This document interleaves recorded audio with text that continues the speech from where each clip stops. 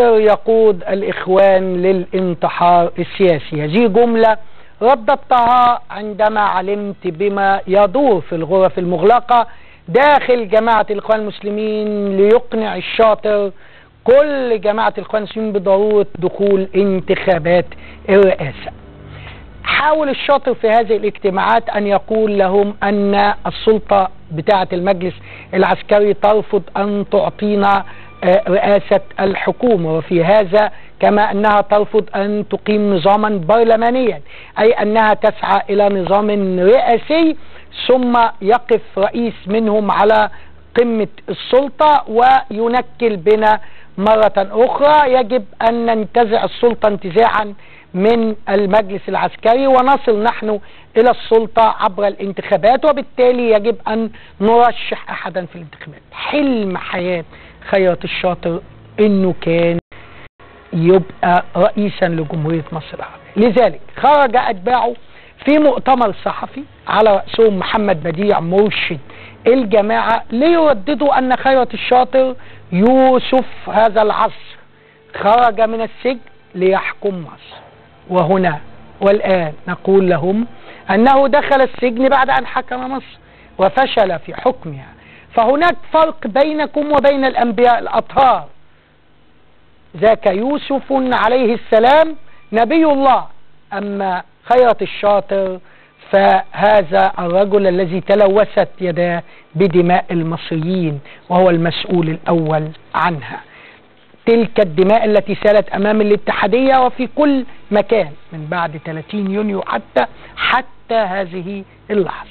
مشهدان لا يمكن تجاهلهم سبقوا ترشح الشاطر المشهد الأول هو إصراره على إنه ياخد عفو وتبرئة ذمة قبل خروجه من السجن على خلفية قضية ميليشيات الأزهر وتعهده قدام المجلس العسكري بعدم استخدامها استخدام هذه تبرئة الذمة في الترشح في أي انتخابات.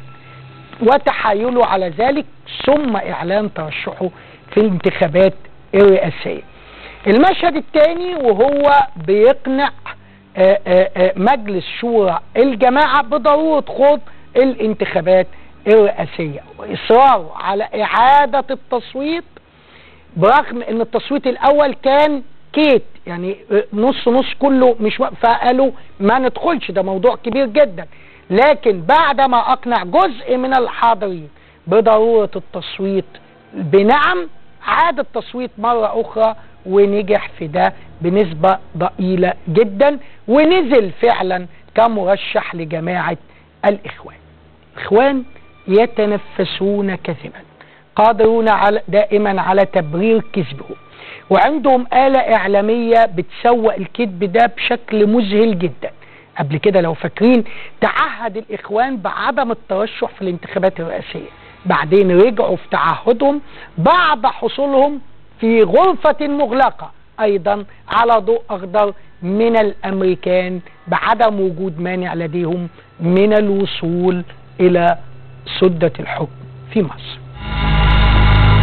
نحن الآن نقول آه نحن لن نختار واحد من الإخوان المسلمين ولن ندعم وكنت أتمنى أن لا يترشح أحد في تيار إسلامي يعني محسوب على تيار إسلامي مش مسلم ولا ليه ليه فضلت؟ ليه؟ لأن حرصا على مصلحة مصر التي الآن يعني تحت المجهر.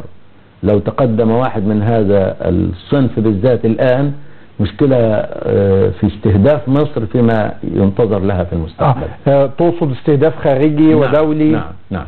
كما حدث مع حماس. بالضبط. بالضبط. والآن الحمد لله المشهد بيعود مرة أخرى ليحقق ما, ما قلناه نحن. رئيس توافقي لمنظمة التحرير الفلسطينية وانتخاب جديد لرئيس جمهورية رئيس دولة وهناك انتخاب أيضا لرئيس وزراء جديد. ليس لا من حماس ولا من فتح. شخصية توافقية. والآن يعلن كل الكتلتين أن كل واحد منهم يريد أن يترك موقعه كرئيس وزراء وأن يتم انتخاب جديد لرئيس دولة.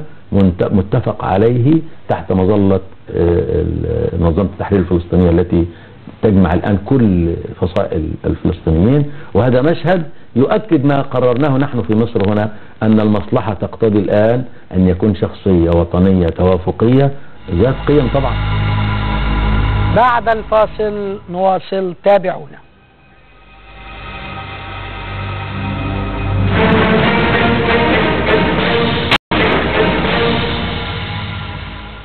الجماعة حصلت على موافقة أمريكا عبر اجتماعات جرت في غرف مغلقة بالمقطم مع جون ماكين وأم باترسون وفي الولايات المتحدة الأمريكية مع أوباما شخصيا. ثم تحرك التنظيم على خلفية الضوء الأخضر بعد هذه الاجتماعات التي طالت كما قلنا بين السفيرة الأمريكية أم باترسون وخيرت الشاطر في مقر خيرت الشاطر في مدينة نصر وداخل السفارة الأمريكية.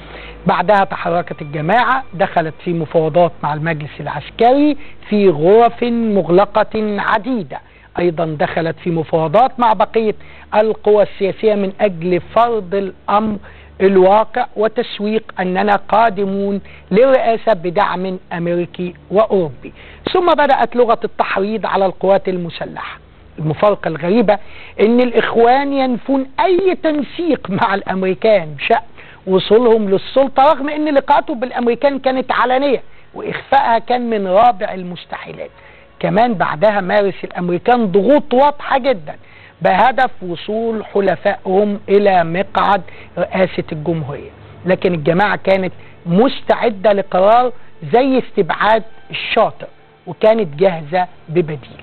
طبعا استبعد الشاطر ومعاه اللواء عمر سليمان هم كانوا جاهزين ببديل. لم يكن هناك أفضل من محمد مرسي تلميذ الشاطر الذي يسمع ويطيع دون مناقشة.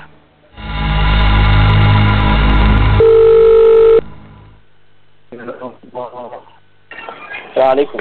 وعليكم السلام ورحمة ازيك يا خالد؟ ازيك يا دكتور؟ مع حضرتك عبد الله. ازيك يا عبد الله؟ الله يبارك فيك. فرحتك إيه؟ الحمد لله. باشمهندس آه، يرد عليا ولا مش راضي؟ آه طب هو عندك اجتماع كام سنه أقول لحضرتك تمام شوف كده يعني. كلمتين كلمتين في الجنب كده. دكتور محمد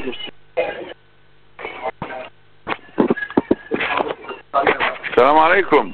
عليكم السلام ورحمة الله وبركاته. معذرة يا حبيبي. لا تحت أمرك يا دكتور. أنا عايز أفكرك بموضوع إنك إيه تعمل جواز إذا كنتش عندك جواز سفر بس. آه حاضر. حاضر. ولا مش ناوي؟ أنا فاهم في الآخر أنت هتفلفص طول سفر أنت.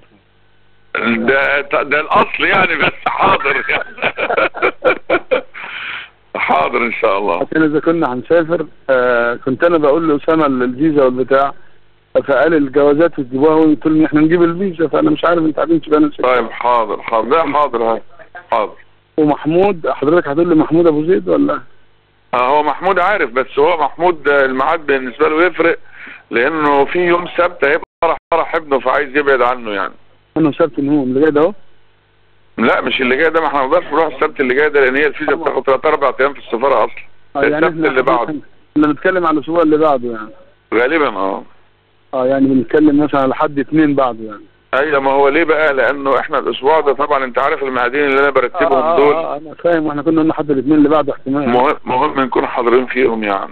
آه طيب ما حضرتك آه، رتبهم الأول وبناء عليه نقول الأسبوع اللي بعده؟ انت ما أنا بعمل كده بعمل كده فعلا. معذرة أنا ازعاجك لا يا حبيبي بس أنا كنت فيها واحد صديقي جدا آه، بيعمل حزب حلو قوي اسمه حزب الحضارة. لذلك اختاره الشاطر حتى يعود مرة أخرى للسلطة ويحقق أمله في الوصول إليها وأن يحكم من وراء ستار مرسي يجلس على الكرسي والشاطر تصدر عنه القرارات. أدار الشاطر رئاسة الجمهورية من مكتبه بمدينة نصر بعد أن أصبح مرسي مجرد خيال مآتة. كل دور يتلقى رسائل الشاطر ليترجمها القرارات في اليوم التالي دون مناقشة أو اعتراض. غدا يوم جديد وغرف مغلقة جديدة. ألقاكم على ألف خير ومحبة.